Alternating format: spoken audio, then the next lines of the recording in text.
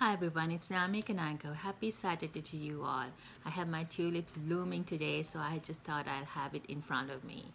Um, God is so faithful. I just want to encourage you today and build your faith no matter what you're facing today. I want to encourage you. Be a people who believe in God. Be a people who trust in God. And today I want to take uh, my scripture was uh, yesterday was our Bible small group, and we were talking about Luke chapter 4 and then we were talking about uh, the city of the town of Nazareth where Jesus was born. Jesus goes to this uh, place and he goes to the synagogue and he takes a book of Isaiah and he reads the spirit of the Lord is upon me.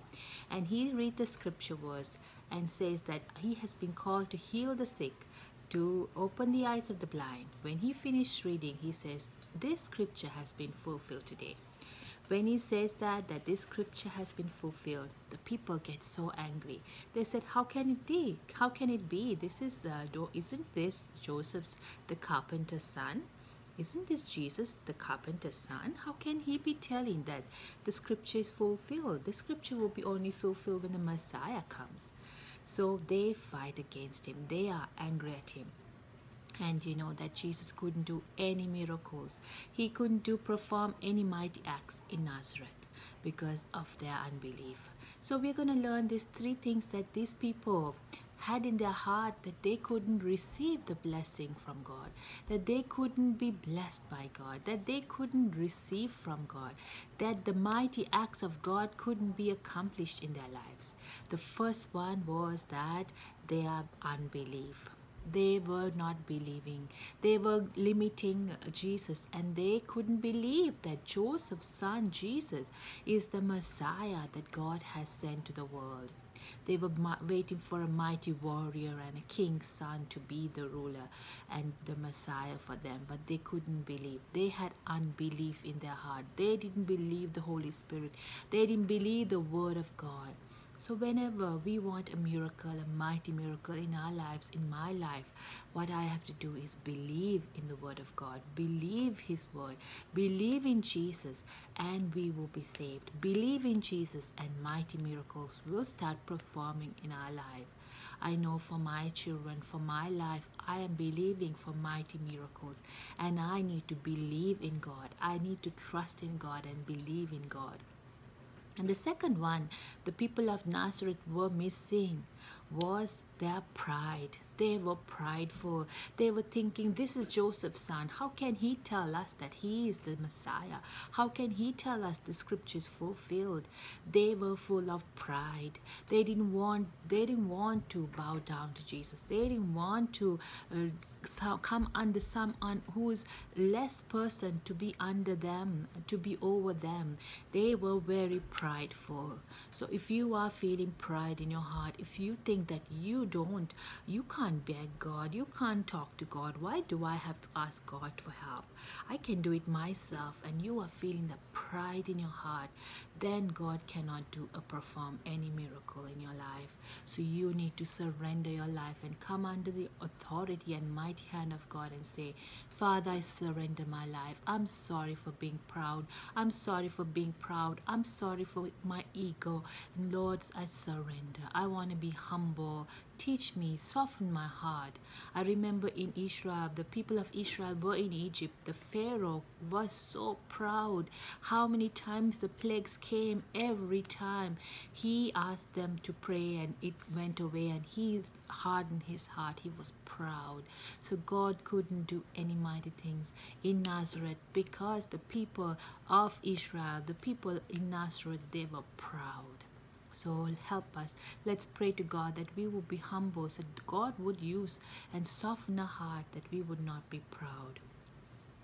And the third one that that God couldn't use, God couldn't do mighty at mighty things is was their attitude their attitude towards God. They were grumbling. They were they were not waiting with expectancy from God. Their attitude was really, really towards uh, being discouraged, towards attitude of unbelief and attitude the attitude as soon as you get up in the morning the way you think the attitude when someone comes and argues with you how will you react the way that you react your attitude it all applies to the way God can use something and do a mighty act in your life. So your attitude is needed.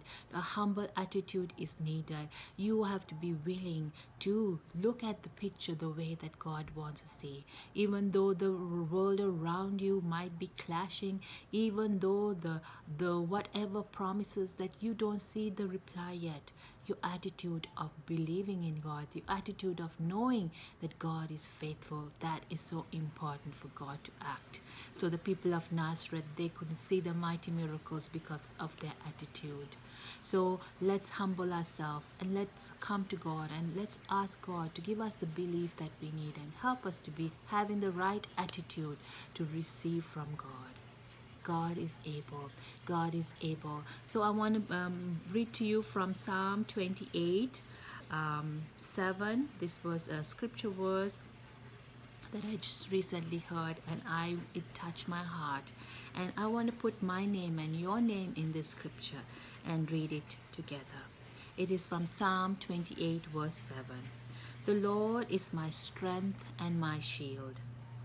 My heart trusts in him and he helps me. My heart leaps for joy and with my song I praise him. Let's put our name there. The Lord is Naomi's strength and Naomi's shield. Naomi's heart trusts in him and God helps Naomi. Naomi's heart leaps for joy and with Naomi's song I will praise him. We will praise him. Put your name on that Bible verse, Psalm 28 verse 7 and say that God, I trust in you. I believe in you. I put my hope on you.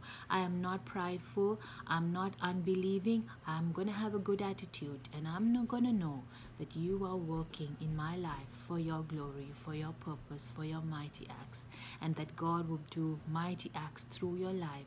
Nazareth couldn't receive the mighty acts because of their pride, because of their unbelief, before, because of their attitude but because that you trust God, because your love for God, God is able to do mighty acts in your life.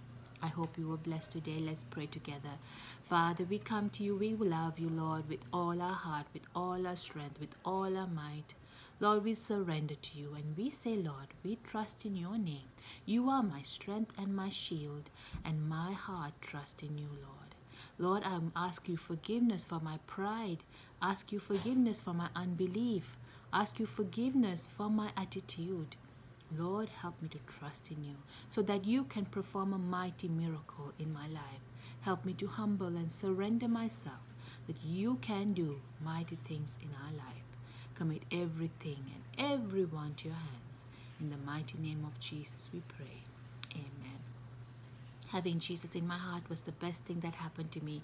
So if you have never accepted Jesus into your heart, ask Jesus and say, Jesus, come into my heart. Be my Lord and my Savior. Forgive my sins and I surrender everything. Come into my heart. I want to trust you, believe in you. In Jesus' name. So I just want to sing one worship song today. Um, this song I sang with my devotionals as well, and this is a song that's in my heart. And how much I sing, I still love to sing it because it speaks volume. And God, it talks about the victor's crown. Jesus already have the victory. He has won the victory for us. How much struggles, how much trials, how much difficulties we are going. We've got the victory in Jesus, and God is holding. Jesus is holding the victor's crown in His hands. So let's sing this song. You are always fighting for us, heaven's angels all around. My delight is found in knowing that you wear the victor's crown. You're my help and my defender, you're my savior and my friend. By your grace I live and breathe to worship you. At the mention of your greatness, in your name I will bow down. In your prayer presence fear is silent, for you wear the victor's crown. Let your glory fill this temple. Let your power overflow. By your grace I live and breathe to worship you. Hallelujah. You have overcome. You have overcome. Hallelujah. Jesus, you have the world. You are ever interceding as the lost becomes the found. You can never be defeated, for you wear the victor's crown. You are Jesus the Messiah. You're the hope of all the world. By your grace I live and breathe to worship you. Hallelujah. You have overcome. You have overcome. Hallelujah. Jesus, you have overcome. At the cross, the work was finished. You were buried in the ground, but the grave could not attain you, for you wear the victor's crown. Every high thing must come down, every stronghold must be broken. You wear the victor's crown. You have overcome, you have overcome. High thing must come down, every stronghold shall be broken. You wear the victor's crown. You have overcome, you have overcome. Every high thing must come down, every stronghold shall be broken. You wear the victor's crown. You have overcome, you have overcome. God is always fighting for us, and He's already won the victor's crown for you and me. So believe in God, trust in Him, put your heart, your hope in Him. Know that God is able to help you. Have a wonderful day with your family. Happy Saturday to you all. God bless you. Bye.